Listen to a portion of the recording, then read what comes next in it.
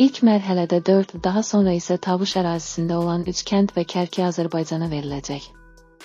Qlobal Info az məlumat verir ki, bu iddia ilə erməni deputat Ermənistan fraksiyasının üzvü Qarnik Daniyelyan çıxış edib. O deyib ki, Ermənistan tərəfi Azərbaycanın tələblərini təmin etmək və tədricən müəyyən əraziləri geri qaytarmaq niyyətindədir. Birinci mərhələdə 4 kəndi, sonra isə qalanını, Tavuş vilayətindəki 3 kəndi və Kərkini təhvil verəcəklər. Nəticədə Lori vilayəti sərhəd bölgəsinə çevriləcək.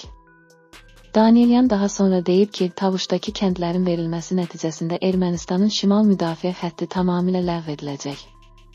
Digər tərəfdən Ermənistana daxil olan qaz kəməri bu ərazidən keçir. Beləliklə Rusiyadan gələn qaz xətti Azərbaycanın nəzarətində olacaq.